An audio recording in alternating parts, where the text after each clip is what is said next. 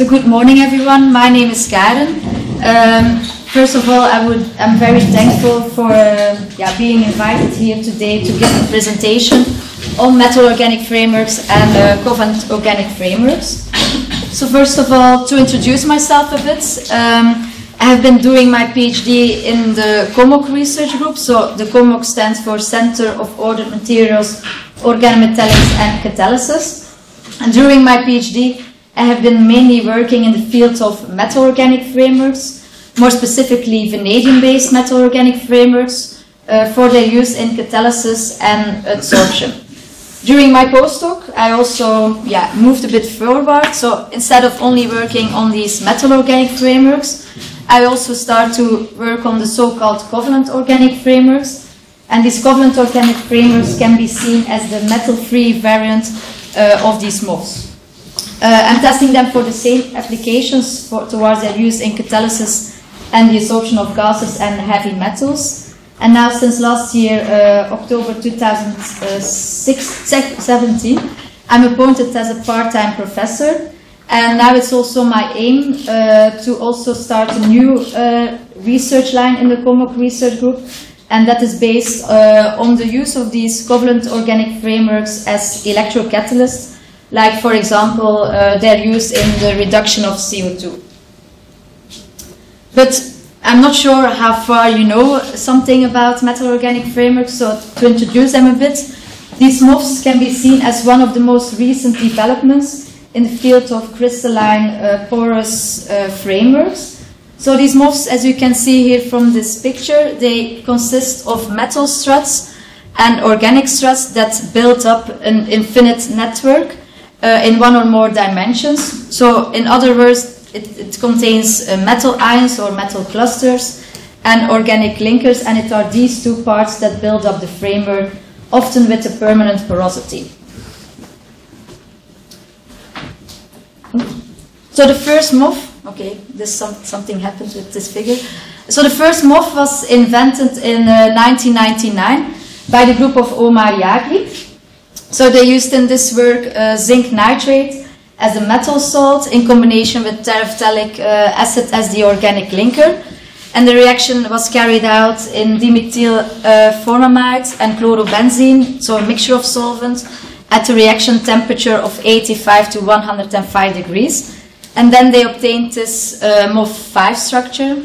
Yeah, it's pity that the structure is not really clear here uh, on this slide. So, as you might have seen, partially so that they consist these this MOF5 structure consists of uh, zinc tetrahedral clusters which are connected by terephthalate organic linkers. And yeah the gray ball which is not here now visible uh, represents the available pore volume. So at, at many times uh, at many MOFs at that time because of its high crystalline surface area so it had a surface area of about 3400 square meter per gram this MOF was examined as an adsorbent for gases. So in this study, they used it as a, yeah, an adsorbent for hydrogen, and the amount that could be stored in this framework was 4.5 weight percent at a temperature of 77 Kelvin and a pressure of 1 bar. So since this first report, many MOF, other MOF structures have been developed. Uh, because yeah, there's in fact an infinite amount of uh, metal salts and organic linkers that can be used to build these frameworks. And this resulted uh, in the literature in many acronyms. So most of the times the acronym refers to the institute where the MOF was synthesized for the first time, uh, and then followed by a number. So if you will look in literature, you will have acronyms like MIL. So MIL stands for Matériaux de l'Institut Lavoisier. Then UIO, uh, which is refers to the University of Oslo. DUT, this, this is the Technical University of Dresden. So besides these acronyms that refers to the institutes where the MOF was synthesized, there can also be acronyms that refers to the chemical composition of the framework. And uh, then you will find, for example, ZIF. So ZIF stands for Zeolitic Imidazole Framework. So here in this slide you can see some of the MOF gurus. So of course we have Omar Yaghi, who invented the first MOF, MOF 5. Then we have the French uh, MOF guru, uh, Gérard Férey, who unfortunately already passed away uh, last year. So all the materials that uh, are referred to MIL materials were, uh, yeah, are synthesized originally in his lab. And then we have, of course, also Susumu Kitagawa, who is the Japanese expert in MOFs. So why is it now, yeah, why now so many people are, work, are active in the field of metal organic frameworks? Is because these MOFs uh, possess several interesting uh, properties. And one of these properties is their high tunability. So this was demonstrated by Yaghi in 2002. So he was able to make uh, yeah, the octahedral secondary building unit of MOF5 uh, in the presence of many organic linkers. So, for example, he could use functionalized organic linkers having a bromine, amine, a methoxy group present. But he could also use extended, so elongated organic linkers, like, for example, the biphenyl dicarboxylic acid, but also the terphenyl dicarboxylic acid. So this resulted in, this very famous uh, MOF figure, uh, in which he was not only able to make uh, um, MOF structures, so isoreticular MOF structures having different functional groups present, but also he was able to tune the pore size from a microporous uh, metal organic framework up to a mesoporous uh, framework. Another important feature of these uh, metal organic frameworks is their very high surface areas. So here in this uh, table you can see the MOFs reported so far that have the highest surface area. So they can have a surface area above 6,000 square meter per gram. So as you can imagine from this previous slide, so if we use an extended organic linker, we will obtain a MOF structure with a higher surface area. It's, however, it's important to note here that if we use an extended organic linker, this will also result in less stable framework. So, with less stable, I mean that if uh, you, upon activation, so upon removal of the solid molecules, the framework might collapse. And another uh, thing that can happen if you use an elongated, so an extended organic linker, is so-called interpenetration. So this is uh, shown here. So this means that the lattices grow and uh, interpenetrate each other. So this will result in a reduced pore volume and also in a reduced uh, surface area. And a yeah, somehow special feature of MOFs that only a couple of MOFs possess is a so-called breathing phenomenon. So this is schematically shown here. So breathing, with breathing I mean is that um, the structure can uh, reversibly change, so that the structure can change, and this process is reversible. So MOFs that show this breathing phenomenon are called soft porous materials, while the ones that do not possess this breathing behavior, so that do not uh, show a structural reversible change, are seen as hard and rigid. So in the COMOC group, we also uh, develop new uh, MOF structures, and yeah, uh, we call them, we give them the acronym COMOC 1, 2, and 3. So in this work, we used vanadium metal salts and in combination with naphthalene dicarboxylic acid or with uh, the biphenyl dicarboxylic acid. So if we used vanadium 3 plus salt in combination with this naphthalene dicarboxylic acid and using water as solvent, we obtained the COMOC 3 structure, which was rigid and non-porous. If we performed the reaction in DMFF solvent, we obtained a flexible structure. Also for this, uh, the biphenyl dicarboxylic acid in the presence of vanadium 4 plus salt, and using DMF as solvent, we obtained this flexible framework. So you can imagine how did we knew that we had to deal with a flexible uh, framework. So when we always make new MOF structures, we uh, one of the first techniques that we use for the characterization is nitrogen sorption. So with nitrogen sorption, you can determine the surface area as well as the pore size uh, of your material. And normally these metal organic frameworks, because they're microporous, so they have pores below 2 nanometer, they should have a typical type 1 isotherm. So with type 1 isotherm, I mean there should be a steep increase in the adsorbed volume uh, at low P over P0 pressures and then this should level out, so then it should reach a plateau. But for this COMOC2 material, we saw that at higher P over P0 values, we saw a sudden increase again in the adsorbed volume. And from this, we, could, we knew that we had to deal with a breathing framework. So besides nitrogen absorption measurements, we also performed other uh, absorption tests with using other gases. So we also did uh, absorption tests using uh, methane and also CO2 as a gas at two different temperatures. So if we first look to these uh, methane absorption tests performed at two temperatures of 303 Kelvin and 265 Kelvin, so shown here in uh, blue and in red, uh, we see we do not see this breathing behavior, so we just see a stepwise increase in the adsorbed uh, gas uptake uh, as a function of pressure. So this is somehow logic because the higher the pressure will be, the more gas will be, um, yeah, will be filled in the pores. Uh, if we look then for this to the CO2 absorption test, so for this performed at 303 Kelvin, we say, see a similar behavior as for the methane uh, absorption test. But for the isotherms recorded at 265 Kelvin, we see again this breathing uh, phenomenon. So you must uh, realize that when we do these adsorption tests, we always start from an activated sample. So before these adsorption tests, we dry our material uh, under vacuum overnight at 120 degrees to remove solvent molecules. So then the framework is like in its open structure. But then the moment we add some CO2, uh, the pores the framework will uh, contract because of the interactions of the CO2 molecules with the organic moiety.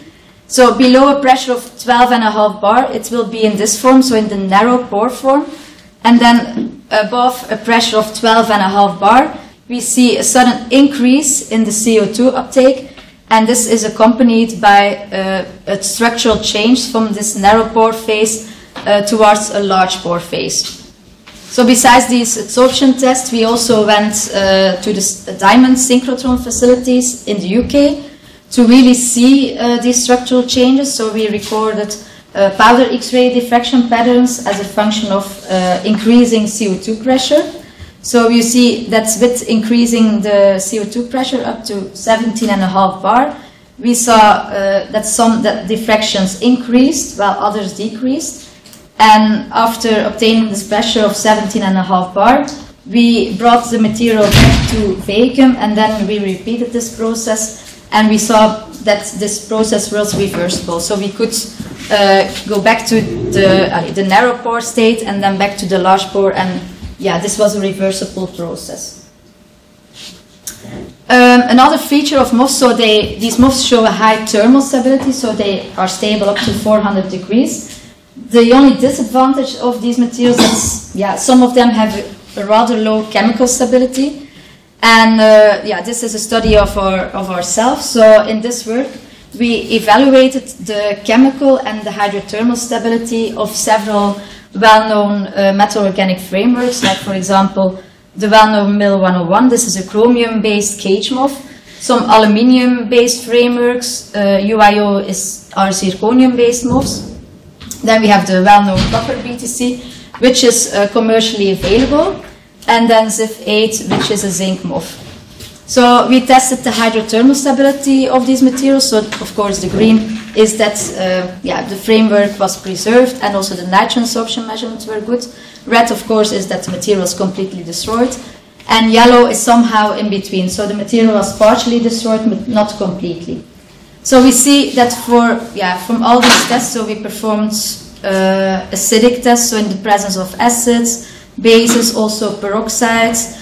Uh, we saw that the MIL 101 was the most stable framework um, uh, in comparison to the rest. And another important aspect is that from this work we were also able to see that it's not only important, for example, to measure XRD, as one uh, characterization technique, but it's important also to use multiple characterization techniques because uh, if you, for example, yes, uh, just a moment, yes, uh, look to this. So here was the MIL 53.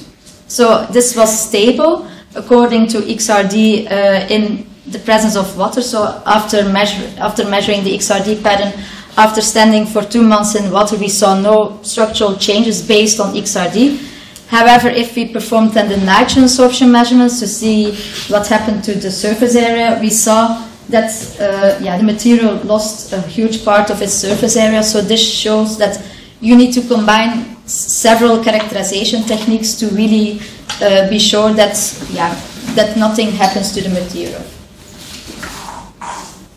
So there are several uh, ways to prepare these uh, metal organic frameworks. So of course uh, it's rather easy. You just mix a metal salt in combination with an organic linker. You bring this in a solvent or a mixture of solvents, and you heat it up for a specific uh, reaction time. So typically the hydrothermal or solvent thermal synthesis method is carried out. So hydrothermal means that water is used as a solvent, whereas in the case of a thermal method, uh, yeah, an organic solvent is used, like for example DMF, um, alcohols, uh, pyridine. And but in both cases, the reaction is carried out in this Teflon lined stainless autoclave, and these Teflon lined stainless autoclave are brought to a specific temperature, and uh, yeah, uh, of course, this will at a specific reaction temperature from between 80 to 220 degrees, and for a reaction time of for, from several hours up until several days. So the crucial parameters during the synthesis of MOFs are, of course, its temperature, the concentration and the solubility of the reactants, and the pH of the solution. So the big advantage of this of using this hydrothermal or solvent thermal synthesis method is that it will yield good crystals. The only disadvantage is that most of the times long reaction times uh, are required, and it's also rather difficult to scale up this method. So for this reason, other synthesis routes have been introduced into literature, and a very, uh, a very uh, common one is the so-called microwave-assisted synthesis. Uh, so because of the fact that this microwave-assisted heating has a very efficient, high efficiency, so because the energy is generated throughout the bulb, without, and so not there's not like, um, so yeah, so that's why this will allow shorter crystallization times. It will uh, result also in a more narrow particle size distribution, high yields, and good selectivities, and it's also rather easy to control the morphology uh, of the resulting framework. So the first MOF that was synthesized using this microwave-assisted synthesis is the so-called MIL 101. So it's a chromium-based MOF uh, based on this uh, organic linker, so terephthalic uh, acid. And this MOF has uh, two cages, so a small cage and a larger cage. And uh, using this microwave, they were able to get this framework with, within four hours at a temperature of 220 degrees. Well, in contrast to this typical solvothermal synthesis, uh, which required a reaction time of four days. So as you can imagine, uh, yeah, with only changing a small uh, parameter, this will have a significant impact on the resulting framework. So if you combine one metal salt in combination with an, an, an organic linker, this can result in uh, multiple crystalline phases, besides, of course, some unwanted phases. And if you want to yeah, uh, change one parameter, this will result in an exponential growth of the yeah, synthesis that you will have to carry out, out. And for this reason, it might be interesting to use the high throughput synthesis because in this high throughput synthesis you can put uh, several uh, vessels parallel to work under the same reaction conditions. And this was demonstrated, for example, by Harris in 2016. And in this work, he was able to uh, place 96 vessels at the same time under same reaction conditions. So then, in the first step, he uh, performed an initial uh, powder X-ray diffraction analysis uh, from one out of the six vessels, and if he obtained a positive result, he also analyzed the, yeah, this, the surrounding vessels uh, for XRD analysis. In the following step, he performed then these preparative uh, scale synthesis, in which he wanted to uh, control more the, the size and the morphology of the particles. And then in the final step, he performed then on these uh, samples uh, SEM, TM, TM, and also XRD analysis. So this high throughput, high throughput analysis shows like uh, is an efficient way to screen the presence of several crystalline phases at the same time. So, so far I have only been talking about uh, using one uh, metal salt and one organic linker, but it's also possible to make multifunctional frameworks uh, by combining different metal salts in combination with different uh, organic linkers. So in this slide you can see an example uh, of our own group. And in this work we used a mixture of uh, two metal salts, so chromium and vanadium, and we also, uh, yeah, we tried different synthesis methods. So in the case of the solvothermal synthesis method, we obtained like a well homogeneous distribution of the vanadium and the chromium uh, salt, uh, vanadium and chromium nodes in the framework. And if we uh, use the microwave assisted heating, we obtained like an egg yolk uh, MOF. So with egg yolk MOF, I mean that we had uh, a yeah, a homogeneous distribution, a core of uh, vanadium and chromium, and uh, the outer shell was uh, yeah was only chromium. So you can imagine why, of course, that we synthesized these bimetallic MOFs. Uh, it's because that of the fact that the chromium MIL53 that, uh, exhibits breathing behavior, while the vanadium variant doesn't. So the vanadium variant is rigid, and uh, by tuning, like changing this ratio of chromium and vanadium, we wanted to tune the breathing behavior uh, of this material. Another way to create these multifunctional frameworks is by embedding nanoparticles, nanoparticles into the framework. And here in this slide, you can see the several uh, ways to, um, to synthesize nanoparticles in MOFs. So the most commonly uh, used technique is the liquid phase impregnation. So in this uh, method, the MOF is just mixed in, uh, in a solution of the metal salt, followed then by uh, reduction afterwards. So this is a very easy technique. The only disadvantage is that it's very hard to control the, the place of the nanoparticles in the framework. So it's possible that there will be nanoparticles inside the cavities of the MOF, but there will also be particles on the outer surface. Another way techni other technique is a so-called solid phase uh, deposition method. So in this uh, solid phase uh, deposition method, there's like just the grounding of the MOF with a metal salt precursor. And during this grounding process, the metal salt sublimes and uh, is then able to enter the cavities uh, of the framework. And then, of course, followed by reduction to get the metallic nanoparticles. Uh, the third method is the gas phase deposition method, and in this method, of course, a volatile organometallic precursor is used uh, to then enter into the yeah the cavities of the MOF.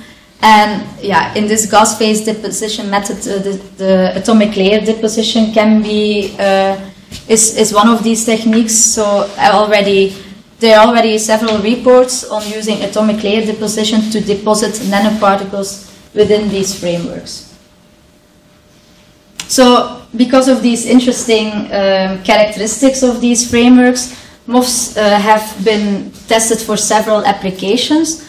So, in the COMOC research group, we mainly focus on their use in catalysis, adsorption, and uh, the storage uh, and the removal also of heavy metals from wastewater. But they're also used in drug delivery applications, sensors, and some also some of these framework also exhibit uh, magnetic properties. But I will focus uh, on the first three applications, and I will give now some examples uh, from our own group. So the first uh, field of application is their use in catalysis.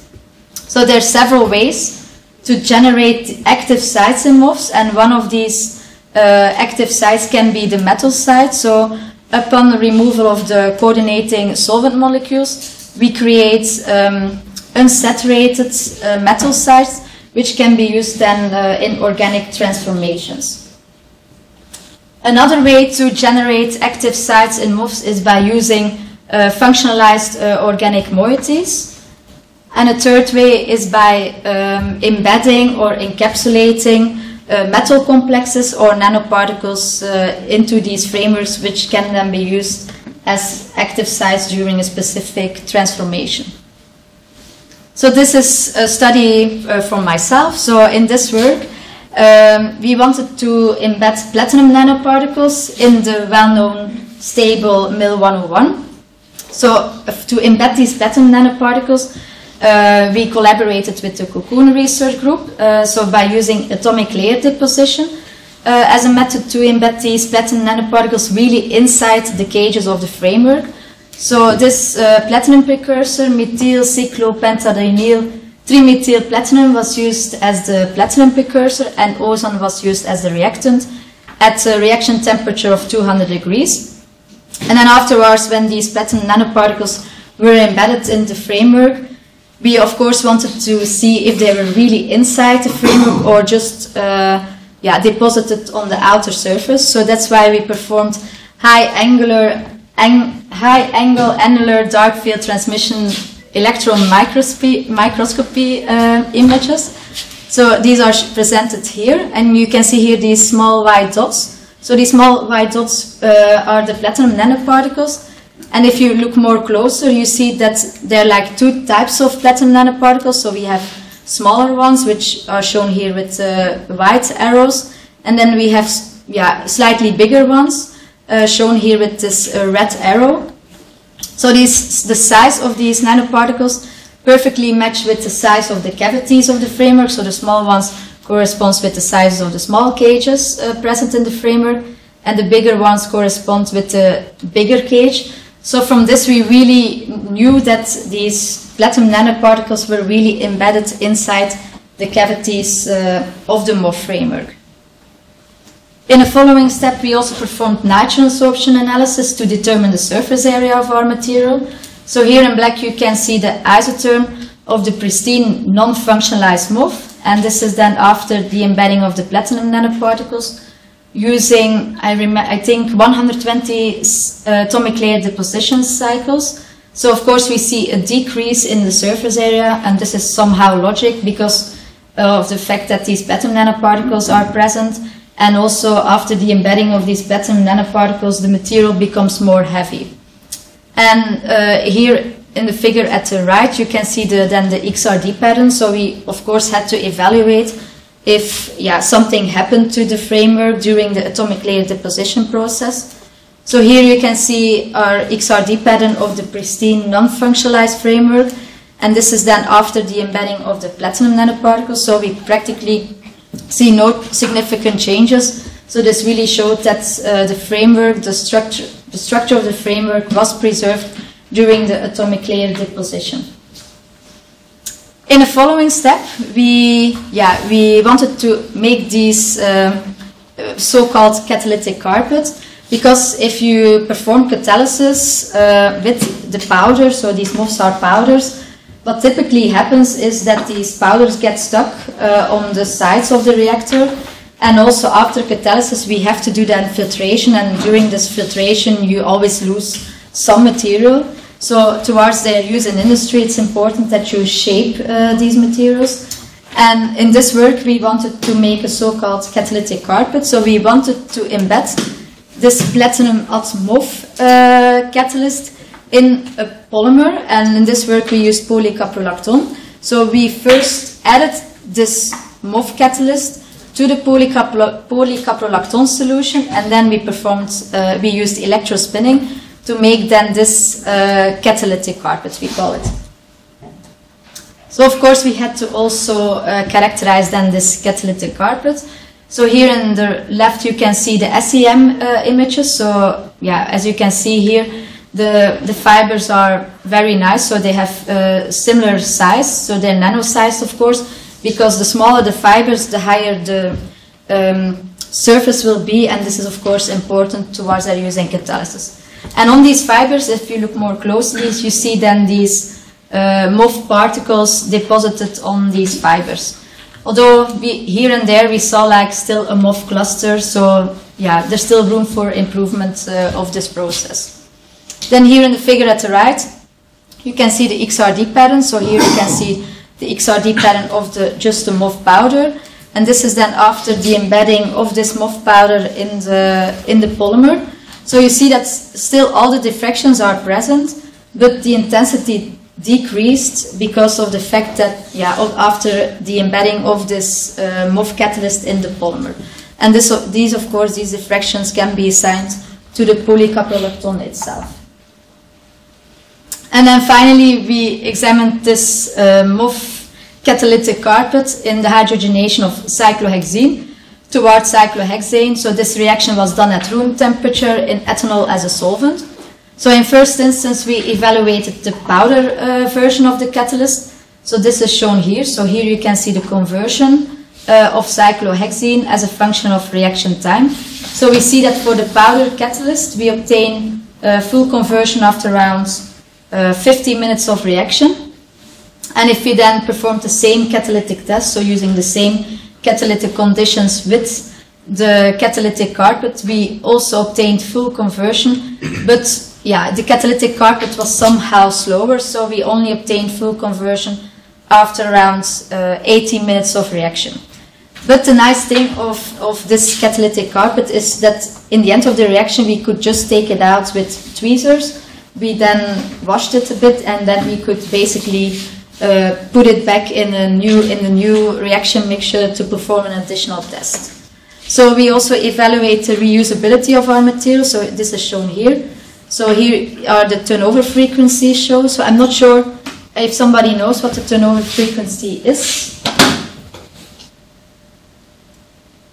Yes?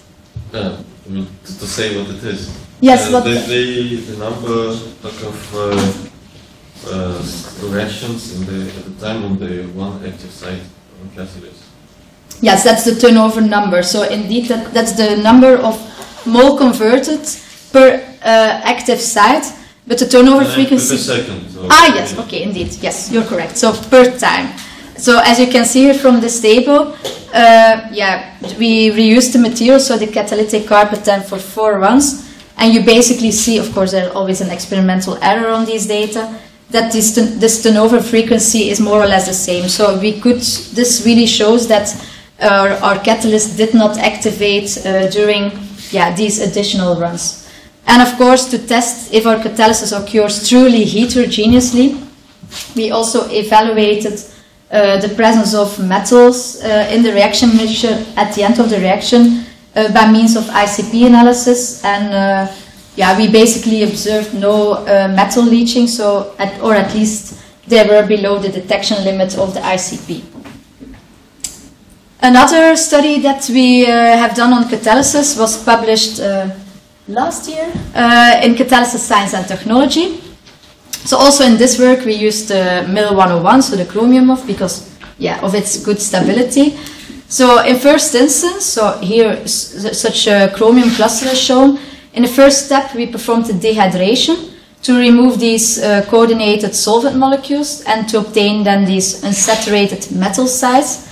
And then in the following step, we anchored this uh, diamine ionic liquid onto these uh, unfunctionalized chromium sites, followed then by the anchoring of a polyoxometallate uh, on this uh, amine group of this ionic liquid. So this polyoxometallate uh, was the catalyst. So this is a metal-free uh, uh, catalyst we wanted to, yeah, to synthesize in this work. So we evaluated this uh, catalyst in the oxidation of benzyl alcohol towards benzaldehyde uh, using tertiary butyl hydroperoxide as oxidant at a reaction uh, temperature of 100 degrees and we performed this reaction during a reaction time of 6 hours. So here is uh, the result uh, for our catalyst. So we obtained a very nice conversion of 95% and with yeah, practically 100% selectivity towards benzaldehyde. So of course we had to compare our catalytic results with uh, other uh, polyoxometallate catalysts and these are shown here above. So yeah, our catalyst performed very well in comparison to the other polyoxomate, polyoxometallate based catalysts. So to evaluate in this study the heterogeneous nature, we performed a so-called uh, hot filtration experiment, and I'm not sure if somebody knows what a hot filtration experiment is. So that's typically done when you, yeah, you want to test the heterogeneous nature. Does somebody knows what the hot filtration? Ah, okay, yes. you know a lot of catalysis. The, yeah, if there is a lesion of the material, of the, of the metal, for example, and then uh, you can, after, after some time of the reaction, you can just uh, filtrate the, the, the heterogeneous catalyst. And if you see the reaction occurs with, in, without the presence of the heterogeneous catalyst, it means that some, some material has leached and it's catalytically active and it's homogeneous reaction as well. Yes, indeed. So, um, so we indeed did this experiment. So, like, uh, so here you can see the conversion as a function of time, and this is for our yeah our heterogeneous system. So for our catalyst, so we obtained 95% of conversion after eight hours of reaction.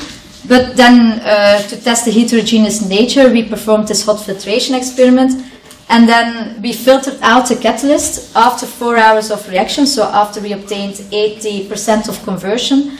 And then we indeed allowed uh, the reaction to continue without the presence of the catalyst. So, of course, in the absence of the catalyst, we would expect no conversion anymore. And this is what we indeed observed. So, after the removal of the catalyst, the reaction stopped. So, we, from this, we really knew that we had to deal with the heterogeneous uh, system. And of course, besides testing the heterogeneous nature, it's also important to see if the catalyst is reusable. So here in total we performed five runs. And as you can see uh, from this graph, of course, taking into account that there's always an experimental error uh, on these results, that basically the conversion and selectivity uh, changed, uh, didn't change. So this really showed that also uh, our catalyst was reusable for multiple runs. And a last example of on catalysis uh, is of a PhD student that now is uh, left already a couple of years. And in this uh, study, we used the so-called uh, Jacobsen catalyst. So this Jacobsen catalyst is a commercially available catalyst, and it's a yeah, well-known catalyst in the epoxidation of these unfunctionalized uh, olefins. So of course, this is a homogeneous catalyst, so it's very hard to recover it in the end. And also over time, this catalyst shows these activations, so less catalytic activity.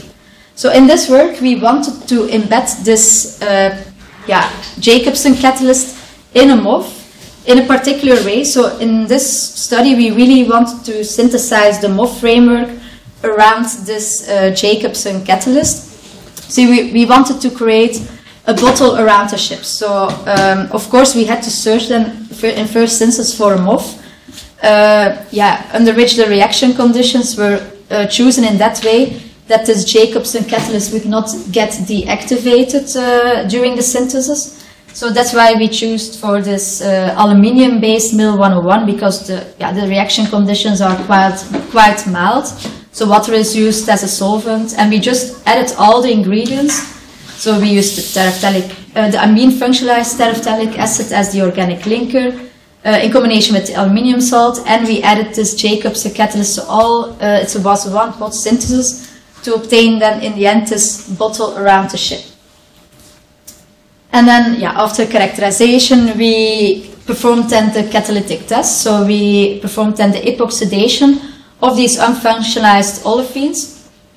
And of course, we compared then our heterogeneous system with the homogeneous uh, Jacobsen catalyst using, of course, the same manganese to substrate ratio. So we see that although for the, yeah, the Jacobsen catalyst we obtained a slightly higher conversion of 85%, in both cases the enantiomeric excess uh, was the same.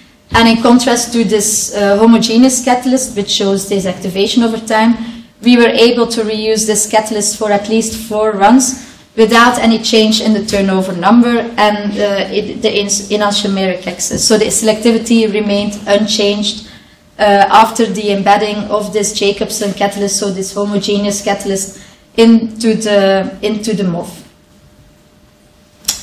Another field that we're also active on since now a couple of years uh, is the removal, is the use of these metal organic frameworks for the removal of heavy metals uh, from wastewater, and one of the heavy metals that we are focusing on is the removal of uh, arsenic uh, species from wastewater, so arsenite and arsenate. And if you will look in literature, uh, iron-based nanoparticles are heavily used for these uh, to remove these arsenic species from wastewater. But the only problem with these iron oxide-based nanoparticles is that during the adsorption process, they have the tendency to agglomerate, so to aggregate, and then of course less surface will be available for, uh, yeah, for, during the adsorption test. So for this reason, we also wanted to embed these iron oxide uh, nanoparticles into the MOF cavities. And again, yeah, no surprise, we choose uh, the MIL 101 uh, as, as the framework to embed these iron oxide nanoparticles in it. So we want to in synthesize in situ these iron oxide nanoparticles in the MOF. So here you can see uh, schematically the synthesis procedure to embed these iron oxide nanoparticles in the MOF. And then we performed again the typical, typical characterization uh, technique. So we performed nitrogen absorption isotherms. We saw again a decrease in the surface area after the embedding of the iron oxide nanoparticles, which was quite logic because the material becomes more heavy. We tested XRD to see if the crystalline structure was preserved.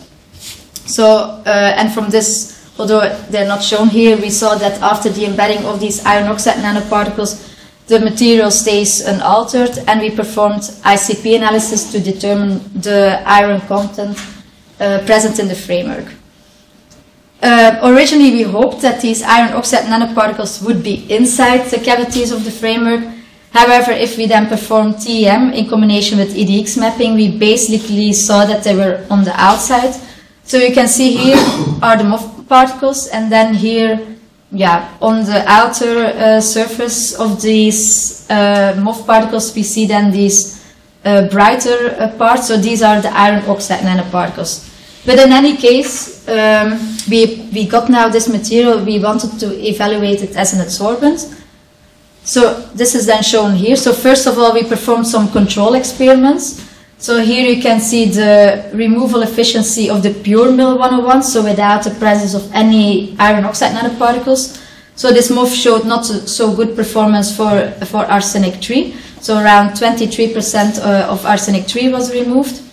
And for arsenic 5, the, yeah, the results were really pretty good already for just the pure MOF. So we obtained a removal efficiency of 97%. Uh, then also we performed a control experiment for just the pure iron oxide nanoparticles, uh, so without embedding them in the framework.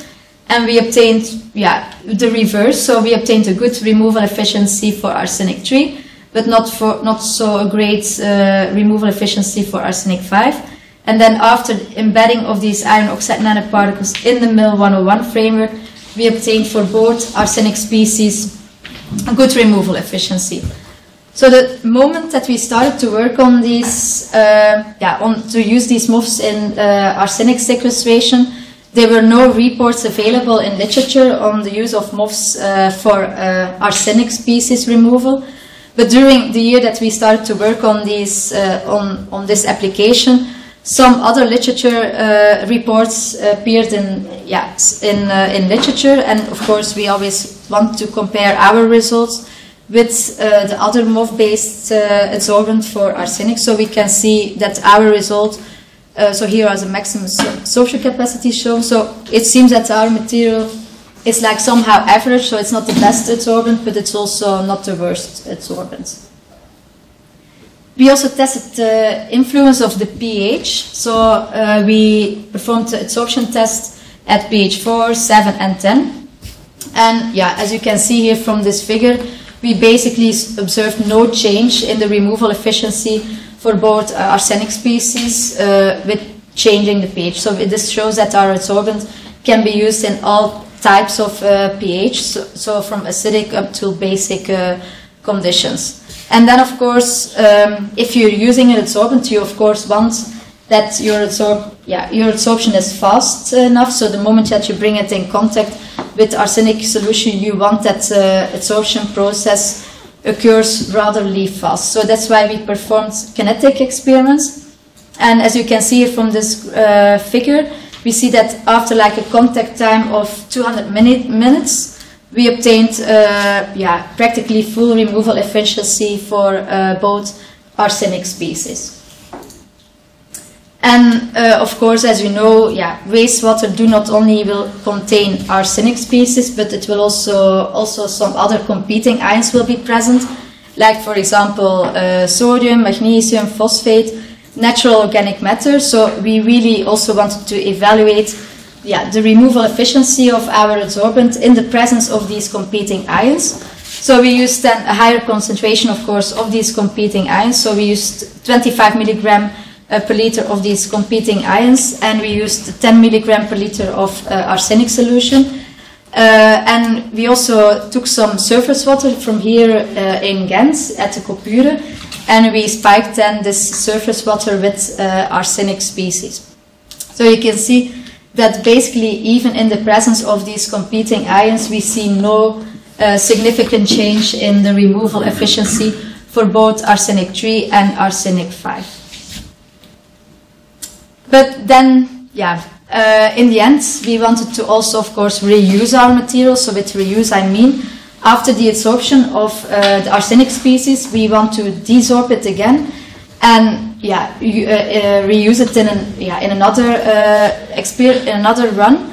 So during the removal of the arsenic species, we tested different eluent solutions. So uh, different acids, like for example, phosphoric acid showed a good uh, desorption efficiency for arsenic 3 of 80% and almost 70% for arsenic 5. But then the problem that we saw that uh, the framework collapsed. So although we knew that MIL 101 was, uh, showed a good stability based on our uh, stability test, we were still able to destroy it quite easily.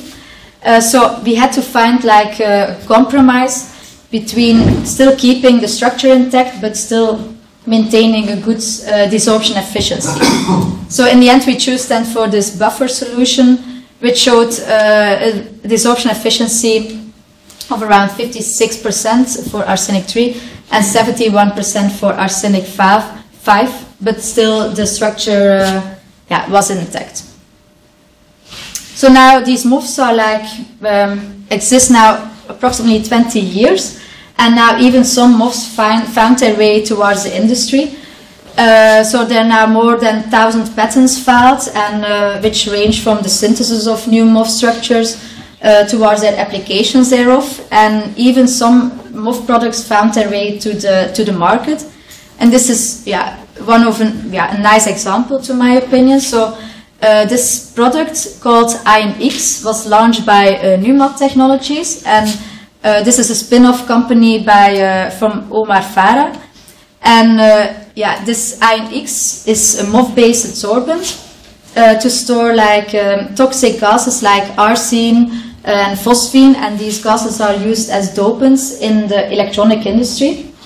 And normally, typically, these gases are stored in, in gas cylinders under high pressure but in this IonX, these gases are stored below atmospherical pressure, so we need to apply a vacuum to be able to get these uh, gases out of this, of this uh, gas cylinder.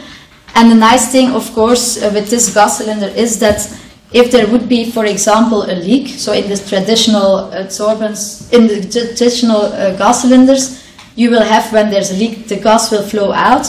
Well, for this IonX, because it's stored under atmospherical pressure, the gas will flow in. So the gas will not come out when there would be a leak. And a second nice example is um, a project sponsored by BASF, and this is the so-called Eco Fuel Asia Tour. So uh, BASF, as you might know, uh, already uh, brought some MOF, uh, MOFs already on the market, and these MOFs are commercially available via Sigma Aldrich and Merck of course in small quantities like 5 to 10 gram.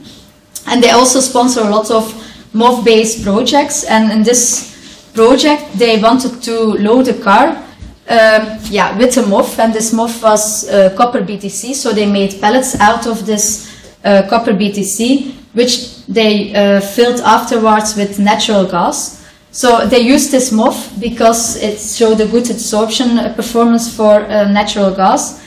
And then they drove with this car through 13 countries. And in comparison to the traditional car, uh, this MOF-based uh, car showed less uh, CO2 emissions. So uh, if I remember correctly, I think it showed 1.3 ton less CO2 emissions in comparison to the, yeah, the traditional car. And also they were able to drive 20% more distance before refilling, refueling was necessary. So I think this is a nice example, although there's still some technical problems that hinders uh, the practical implementation of this MOF-based uh, car. Another, uh, yeah, so now I will go over to the covalent organic framework, so which I now work on for like three years. So uh, these covalent organic frameworks were reported for the first time in, uh, in 2005 by the same scientist who invented the, the metal organic frameworks, uh, so Omar Yaghi. And MOFs, COFs can be defined as crystalline porous materials which are built up entirely by light elements such as boron, carbon, nitrogen, oxygen, and silicon. So they can be seen, except of course for the silicon variant, as the metal-free version uh, of metal organic frameworks. So uh, in comparison to these MOFs, these COFs have similar characteristics. So they have a very high surface area, they have a low density, and uh, they're also highly tunable, so by using an extended organic uh, building block, you will also be able to create COFs with bigger pores. But in contrast to these MOFs, these COFs uh, show also very good chemical stability, or at least a couple of them. So uh, some of these COFs you can even like stir in sulfuric acid, and they will still not uh, lose their structure. So since the first uh, COF reported in 2005, many COF linkages have been uh, used to synthesize these covalent organic frameworks. So the most typically used are the boron-based COFs. So these COFs have a very high crystallinity. Uh, the only disadvantage is that they show a rather um, limited chemical stability. So, uh, but we're mainly active on these uh, imine-based COFs and the triazine-based COFs, so they show a little lower crystallinity, but they show a very good uh, stability. So uh, this is a work of Zhao in 2015. So in this work, they used multiple covalent organic framework linkages to make these COFs. So he used uh, these two building blocks and he obtained then a COF-based material having imine linkages and boroxine linkages. And he saw that these two linkages were produced at simultaneously. So it was not that only one linkage was formed and then another one. No, so he observed that both these linkages were formed at the same time. And then, uh, besides this COF, he also used, he made, he made a COF uh, starting from these three uh, building blocks. And in these, this resulted then in imine and boronate uh, ester linkages. And also in this COF, he observed that these two linkages were formed simultaneously. So he performed HPLC measurements to see uh, the consumption rate of these building blocks, and he saw that the consumption rate of these building blocks was like uh, yeah the same for each. And this from this he knew that yeah that these both both linkages were simultaneously produced. Uh, so just like in the case of MOFs, you can uh, yeah you can uh, make like a reticular design principle. So you can predict uh, the COF uh, you want to make. So this is shown. You can do this in five steps. So in first, the first step, you need to define which target topology you want to synthesize. So yeah, you want to have like a specific top COF topology in the end. So then in the following step, you need to deconvolute it into its geometric units. And then in the following step, of course, you choose these building blocks uh, to be able to, this, to make these uh, geometric units. So it's important to take here into account that you choose building blocks that do not change uh, during the synthesis uh, to obtain uh, yeah, a, yeah, a good porosity in the end. And then, of course, in step four, you will perform then the synthesis of the covalent organic framework. So to obtain a good crystalline yeah, material, you need to be able to ensure a good reversibility of this uh, covalent organic uh, linkage formation. So you can imagine that yeah, if there's a good reversibility of this uh, linkage formation, the linkage formation needs to be rather labile, so it, the bond needs to be easily be broken and to be reformed. So this, of course, will result in more less stable uh. So it is always like a trade-off between having a still a good crystallinity and still having yeah, materials which show a good uh, stability. And also an important aspect in uh, this reticular design principle is the functionalization of these COFs. So typically functionalization can be carried out in two ways. So by using pre-synthetic modification or post-synthetic modification. And pre-synthetic modification have of course the advantage that yeah, the functional group can be homogeneously distributed over the framework, but it's important to take here into account that the functional group can may not get destroyed during the yeah, the formation of the COF uh, framework. And just as in the case with uh, MOFs, also some, some COFs show breathing uh, behavior. So this was demonstrated by uh, Wang, uh, but unfortunately the reference is gone. Uh, so he made a 3D imine uh, interpenetrated framework by using these two building blocks. So he used an uh, bipyridine dialdehyde in combination with this tetraamine building block to obtain then this uh, imine COF. So he performed this reaction under solvothermal synthesis conditions. So he brought these ingredients together with dioxane in a, in a glass ampule and which he then flame sealed afterwards and he heated it up for uh, three days at 120 degrees. He filtered it off afterwards, he washed it, and then he performed some XRD analysis. And he saw that upon solvation of the framework with THF, he saw that this diffraction here at 200 uh, split it in two peaks and also shifted to uh, lower 2 theta value. And then after the removal again of uh, the THF, he saw that or the original uh, 200 peak was restored. So the structural change is also accompanied by a change in the pore size and also an expansion of the pore volume. And additionally, he also performed adsorption tests using uh, vapor uh, THF. And also here he observed uh, so kind, uh, he, he saw the breathing behavior and also that um, sudden increase in the THF uptake at the specific P over P0 pressure, which is called the gate opening pressure. So just like in the case of MOFs, uh, I present here some of the uh, COF uh, godfathers. So this is Markus Antonietti, uh, who I visited uh, last year for uh, six months. So I did over there a research day. And this is Arne Thomas. So they invented this one of the subclasses of COFs the so-called, uh, so-called covalent uh, triazine frameworks. Uh, then we have, of course, also Bettina Lotsch. She's active in the field of imine COFs, and she mainly tests them for photocatalytic applic applications. And then we have Andrew Cooper, and he is known for the mild synthesis of these uh, covalent organic frameworks. So now I will go more in detail uh, on the two subclasses of COFs that we work on in COMOC.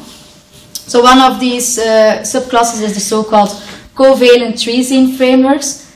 And so these were reported for the first time in 2008 by Markus Antonietti and uh, uh, Thomas.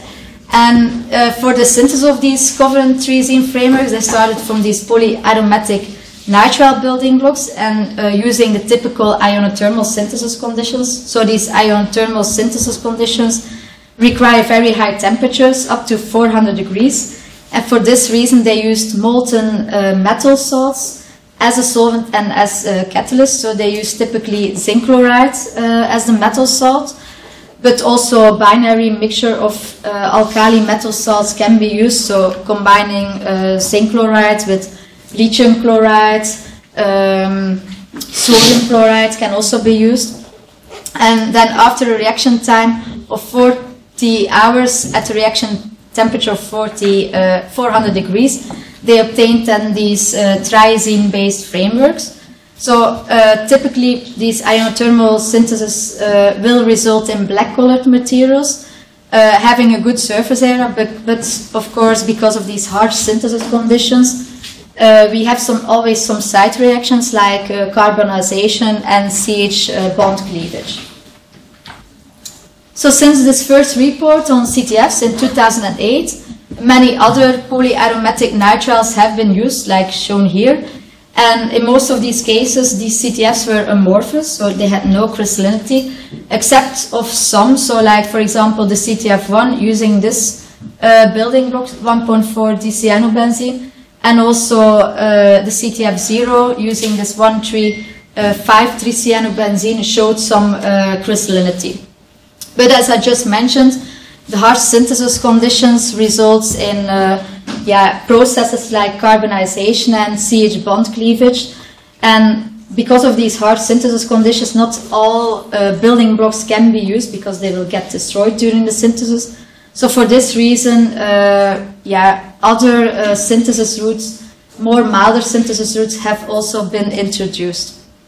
And one of these more milder synthesis routes have, was introduced by uh, Cooper in 2012. And instead of using zinc chloride as the catalyst, they used the strong Bronsted acid uh, for the trimerization. So they used trifluoromethanesulfonic acid and they performed, in contrast to the ionothermal synthesis, which used 400 degrees as reaction temperature, they just used room temperature and also microwave assisted heating. So in contrast to these black colored materials obtained uh, using the ionothermal synthesis route, they obtained uh, pale yellow to brownish uh, colored materials depending on the monomer that they uh, used. And yeah, because of these mild synthesis conditions, they did not observe any uh, carbonization or CH bond cleavage. But uh, these materials most of the time had a lower surface area in comparison to these materials obtained after the ionothermal synthesis route. So uh, the two methods that I just presented, the ionothermal and the assisted uh, acid-assisted synthesis, do not are not easy to scale up. So for this reason, in uh, 2017, Borchardt, uh, yeah, uh, introduced a more a, a method which could be easy scaled up, and this is the so-called mechanochemical synthesis method. So he used in first instance carbazole in combination with this uh, cyanuric chloride uh, and the presence of aluminium and zinc chloride, used respectively as the activating and bulk agent. And then he performed like a ball milling uh, process, and then after yeah, I forgot how long the reaction time, but yeah, after quite short reaction times, he obtained then these uh, covalent triazine frameworks, which were amorphous, black colored, but had a reasonable surface area. And then to test yeah, the generability, the general uh, use of this approach, he also used other uh, aromatic conjugated systems, uh, which all resulted in uh, CTF structures. So this allows to even scale up these uh, CTFs. The only disadvantage is that in the end uh, he always still observed some um, impurities, so the tungsten carbide, which was used because of the balls that he used during the, this ball milling process. This is an example. Um, so we are also active on these CTFs, and we basically use them uh, mainly as for their use in catalysis. So in this work, we use this bipyridine dicyanobenzene as the organic building block. We use a typical ionothermal synthesis route to make the CTF, so in the presence of zinc chloride, a reaction temperature of 400 degrees and uh, during 40 hours to obtain then this uh, covalent triazine framework. And then in the following step, we wanted to anchor this iridium complex onto the bipyridine group uh, of this CTF. So then, of course, we performed a full characterization. We performed nitrogen absorption measurements. So shown here, so in red is the uh, pristine uh, bipyridine CTF, so before the functionalization. And this is then after, after the anchoring of this iridium complex. So we see, of course, a decrease uh, in the surface area. And then also we performed EXAFS measurements to really uh, be sure that this iridium complex was really anchored uh, on the bipyridine uh, moiety. So from these EXAFS measurements, we calculated the experimental iridium uh, nitrogen, so the, uh, the, towards the nitrogen of the bipyridine unit, and also we calculated the iridium carbon uh, coming from the carbon of the cyclopentadienyl. So these are shown here, these two experimental bond distances. And then we compared uh, these experimental bond distances with uh, uh, theoretical bond distances using two types, uh, two levels of theory. And we see that uh, the experimental and theoretical results uh, correspond very nice with each other. So from this we knew that the iridium complex was really anchored on the bipyridine groups of the, of the CTF. Then in the following step we performed the catalytic tests. So here in the slide you can see the, yeah, the catalytic performance of the reported homogeneous iridium-based catalysts in literature. So the best catalyst is this one, which has uh, an iridium loading of 1.5 mole percent, a reaction temperature of 100 degrees for a reaction time of 20 hours. Uh, we, uh, in literature, they obtained 92% of conversion. And here in the following slide, you can see uh, the catalytic results for our heterogeneous system. So for the conversion of benzyl alcohol towards benzaldehyde. So in first instance, we changed, we varied the iridium loading. So we started with an iridium loading of 0.24 mole percent, for which we obtained 57% uh, of conversion of benzyl alcohol towards benzaldehyde. And if we increase then this iridium loading, we observed that yeah, saw an increase in the conversion. So, like if we used one mole percent of iridium, we obtained practically full conversion. And remember from the previous slide, from the homogeneous catalyst, using similar reaction conditions, they required 1.5 mole percent. So this shows that our heterogeneous system outperforms even uh, the homogeneous iridium-based catalyst. For comparison, we also synthesized the homogeneous uh, iridium counterpart and using the same catalytic uh, conditions, the same uh, mole percent of iridium, we only obtained 42% of conversion for this homogeneous uh, catalyst. So we were a bit surprised because in theory the homogeneous catalyst should perform better than the heterogeneous system because of the fact that the homogeneous catalyst is always present in the same phase as a reaction mixture. So we did some control experiments, and just by using the bipyridine CTF, so without any metal, so without anchoring of the iridium complex, we already obtained 39% uh, of conversion of benzyl alcohol uh, towards benzaldehyde. So this is shown here again. So for just a pure bipyridine CTF, we already obtained 39% of conversion, so without the presence of the iridium complex. And for the pure iridium complex, we obtained 42% uh, of conversion, uh, of course, on the same reaction conditions. And then after embedding this iridium complex in the bipyridine CTF, we obtained uh, full conversion of benzyl alcohol. So, um, yeah, to get more insights in the mechanism, uh, we're performing at this time still EPR measurements because we assume that the mechanism happens via a radical pathway we are, uh, we are at this moment we are adding uh, radical scavengers uh, to the reaction mixture to be able to trap uh, the yeah the radicals produced during the cat catalysis. And at this moment, we assume that uh, that this radical uh, is formed during the catalysis. However, these experiments are still ongoing. So because of this very nice result, we extended the scope of the examined substrate. So besides benzyl alcohol, we used uh, all derivatives uh, having uh, um, electron withdrawing and electron don donating substituents. So for all these substrates, we obtained rather good conversion.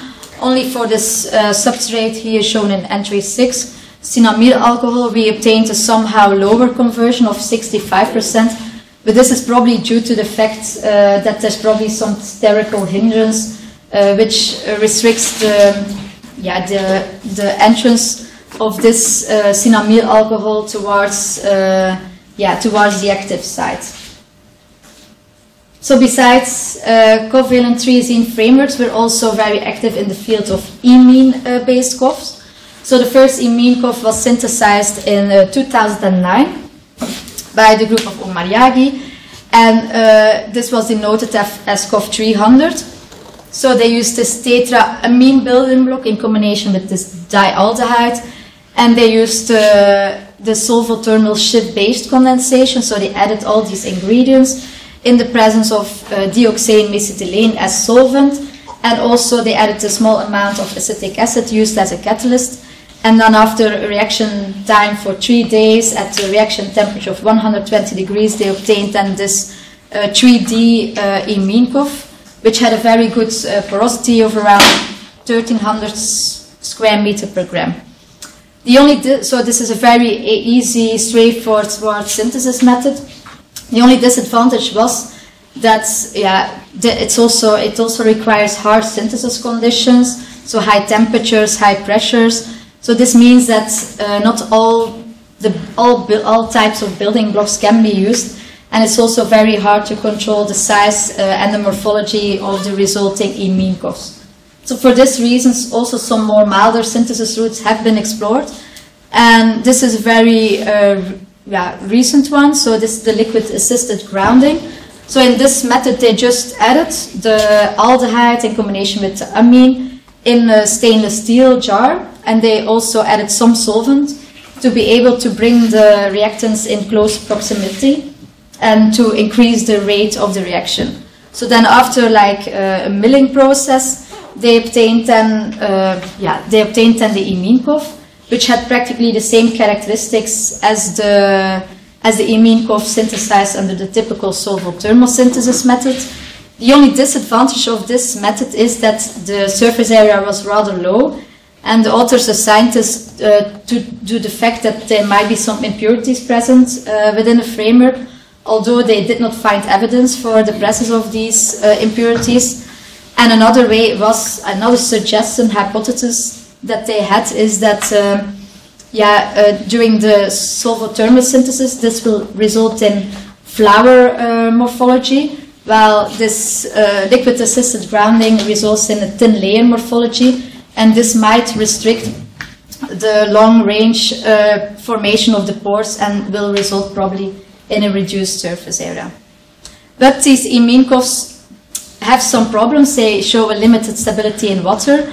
And for this reason, uh, the same group introduced in 2012 a way to increase the stability of these imine COF. So in first instance, they used the typical solvothermal Schiff base reaction, mixing this uh, amine with aldehydes to form this enol uh, based imine COF. And in a following step, they performed uh, irreversible tautomerization. So they performed the conversion of this enol towards this keto form. So uh, from this irreversible transformation, they observed no changes in the crystallinity because it only, um, yeah, this reaction only uh, concerns some changes in bond formation, but atomic positions not, are not changed. And then in the end, yeah, they observed a much higher stability. So even after standing for one week in uh, hydrochloric acid, they observed no changes in the crystallinity. So this really showed that this irreversible tautomerization process is able to increase uh, the stability of, the, of these imine COFs. And in these last couple of slides, I also want to show an example of our own group uh, on imine COFs. So this is work uh, not yet published by a PhD student uh, that started last year. So in this work, he wants to make 2D imine COFs by using this uh, amine building block in combination with this uh, several aldehydes. So he used aldehydes uh, with benzene only, then with the functional group OH, and then with this uh, pyridine moiety. So he used the typical solvothermal synthesis in uh, mesitylene dioxane as the solvent, and he added a small catalytic amount of acetic acid. So then in the end he obtained these three uh, e 3D, uh, 2D imine COFs. And in the following step he wanted to anchor palladium 2 plus complex to test it, to, to evaluate its uh, catalytic performance in the Suzuki, Suzuki Miyaura coupling reaction. And uh, yeah, in these results we obtained uh, a, a, huge difference in reactivity between these three frameworks, of course with the similar loading of palladium uh, plus complex on it. So we see that for this uh, 2D imine COF, we obtained full conversion after 16 hours of reaction, whereas for the yeah, non-functionalized, uh, I would call it, uh, we obtained already full conversion after only two hours uh, of reaction. So at this moment, we're still trying to figure out what the difference is uh, in reactivity and where this difference in reactivity comes from. So uh, yeah, we look to the mechanism reported for this reaction, and this uh, react in this mechanism, there's like a pre-step formation of a biphenyl complex uh, shown here. So we wanted, we followed in first instance the formation of this biphenyl complex for these three uh, 2D imine COFs, and we practically observed that yeah, this biphenyl complex is uh, formed in similar amounts and does not change uh, during the course of the reaction. So it seems that this uh, pre-formation step is not really the rate determining step, so that's why we also then performed XPS measurements, and yeah, from these XPS, XPS measurements we see indeed that, so we first start of course with the palladium-2 complex, uh, because that's a complex that we anchor on these imine COFs. And during the course of the reaction, part, is, part of this palladium-2 complex reduces to palladium-0. But yeah, also this corresponds to what is theoretically suggested for the mechanism. And at this moment, uh, some computational studies are ongoing to really see if there's a kind of effect of the pore confinement or there's like an intermediate energy uh, step in the reaction. So this uh, work is not yet finished. And the same imine COF uh, was also evaluated for its luminescence properties. So as such, these, this imine COF uh, emits uh, blue light upon uh, excitation at a wavelength of 365 nanometer. So we were then thinking, okay, can we not make like uh, use this imine COF to produce white light because of course this is uh, very interesting and uh, very preferred. So for this reason, you might know, so the COF as such emits blue light. If we would anchor an europium complex uh, on allez, onto this imine COF, this europium complex will emit uh, red light and a terbium com complex will emit uh, blue light. So in first instance, we just anchored an europium complex or a terbium complex on it, and we saw indeed that uh, the terbium complex emitted uh, green light and the europium complex emitted red light. So then in the end we wanted to combine them. So we added the europium complex and the terbium complex at the same time. So of course the europium complex will give the red light, the terbium will give the uh, green light, and the COF as such will uh, emit blue light. So then by changing the wavelength we were able to see that yeah, we, we were able to emit different uh, lights and even uh, white light uh, could be emitted. So this was the first study uh, on the embedding of lanthanides in these uh, COFs. And at this moment we are also still testing other applications. So for example, its use in sensors. So this brought me to the end of my presentation. I hope that I was able to yeah, to show you the beauty of these uh, hybrid materials. Thank you for your attention.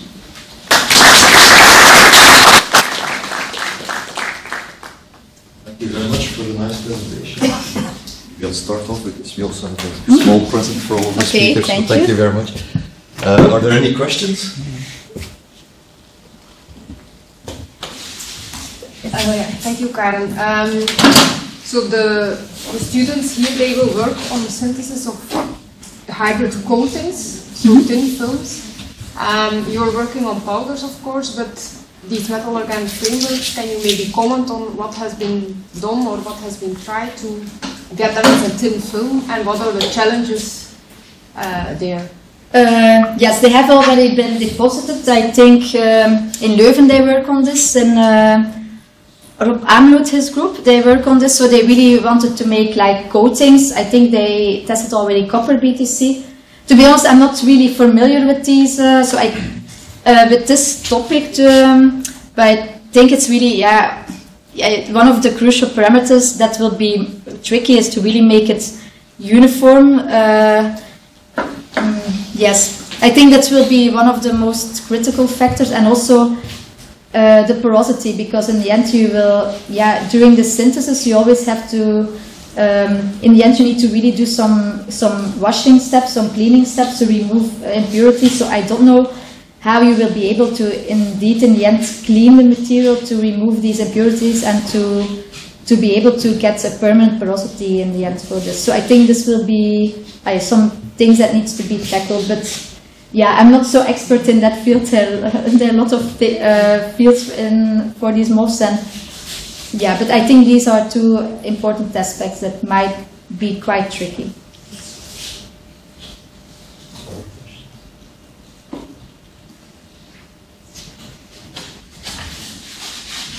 One question. Yes. The, um, several times during your talk, you mentioned like harsh synthesis conditions Mm-hmm. and so on. In, in the framework of the, especially this HYCOAT project, we are mainly aiming at vapor phase deposition.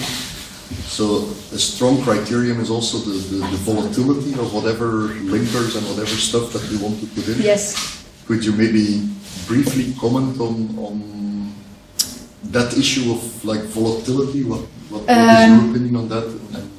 But I, there are definitely some of these uh, organic moieties, like in MOFs, for example, terephthalic acid can be brought into vapor phase because, um, yeah, one of the ways to clean out these materials, like the ones that I worked on, is MIL 47. And in fact, I used the thermal treatments to, to, to remove the organic moiety because that terephthalic acid, I think it starts to vaporize at 300 degrees. So uh, this was the way to remove this from the pores. But yeah, we you have to be. I think when you will do atomic layer deposition, uh, I think one of the critical factors is because these MOFs show still a limited thermal stability. So up to 400 degrees, you will have to keep it uh, at least below that temperature. Uh, and yeah, as I also mentioned, the chemical stability of these materials is rather limited. So that's also why one of the reasons why we're also working with these covalent organic frameworks, and maybe that's also would be interesting to still explore in uh, in HYCOAT. I'm not sure if that is possible because uh, I think these organic building blocks that are used for to synthesize these COFs are also.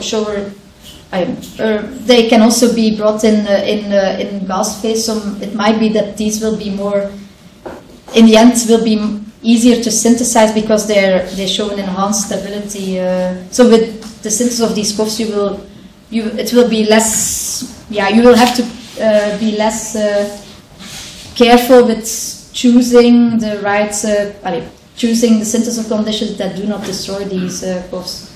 So I think that could be also, besides of course, the most, of which some of them, uh, like terephthalic acid, can be brought easily into vapor phase.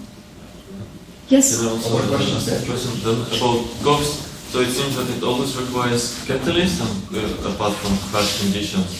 So if we think about MLD or the vapor phase synthesis of COFs, probably it will be difficult to bring catalysts there. So are there any catalyst-free ways to synthesize COFs? At this moment, as far as I'm aware, not. Uh, because they're still quite in its infancy. They're like, uh, yeah, maximum. Some of these COFs, yeah, are even like maximum 10 years old, so they're still. But I think if you, for example, would we also were thinking of that, if we would be able to make like we use a kind of substrate, like silicon functionalized with some uh, o, allee, that has OH groups present, uh, it, it, it, it would be nice if, for example, you could first functionalize these OH with one with, with a layer of this organic building block, and then um, substantially grow other, uh, put the other um, organic building blocks on it. But yeah, I really don't know if. I think at, this moment there's no like they always use catalysts so far, so I'm I'm not sure how how that has to be overcome by. I, I'm not sure uh, how that problem at this moment can be overcome, but at this moment, still new synthesis methods co- are constantly reported in literature, so I assume that, yeah, in future there must be a synthesis route that, that do not require catalytic amounts for, of, uh, of a catalyst to really perform this reaction. But at this moment, unfortunately, they do not exist. So for, for MOFs, of course, but uh, they don't do not require catalyst, but for COF synthesis at this moment, not that I know of. Although for these imine COFs, yeah, small, yeah, small amount of acetic acid. So I'm not sure if, yeah, if could if that could still be added in the during the process. No. I just would like to comment on that mm-hmm. because, for instance, the, the aldehyde amine reaction that you, you have over Yes. there, it is one of the the sort of like the reactions that you use when you deposit polymers with MLD, and there you don't require any catalyst. So that's, that's something that uh, can be done. Also, like those uh, small things are, are volatile enough. So uh, then uh, the I think the biggest challenge would be to, to get them to crystallize also, the, not just to form random polymers. So. But this is in general a problem with these uh, these COFs.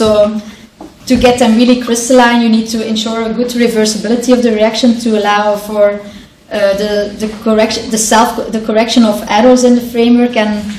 This is still a huge problem, even for, for synthesizing the powders. This uh, to get really nicely crystalline frameworks. So, uh, compared to most, these COFs are much have a much lower crystallinity uh, than most. So, uh, so I, there's now there was now a couple of weeks ago a report, a new synthesis report on on yeah on crystallizing these materials. So I, a lot of people are still working on it, but it's quite hard to because with these imine COFs, what happens when you all add these ingredients together, it really forms very quick a precipitate, and yeah, then yeah the reaction is basically done, and then this uh, reversibility to allow for this uh, correction of errors I don't think it's really occurring. So we need to really be able to get to make this, these COFs very slowly. So there was even a report that used 30 days of reaction to do it very slowly uh, to still then get some good crystallinity. But yeah, this is not so really easy to do a reaction for 30 days. Uh, so yes, there's still some yeah because this is a much more recent field compared to these MOFs. Uh, so there's still much more to, of course, explore for these materials. Okay, thank you very much. And uh, you can enjoy a coffee break.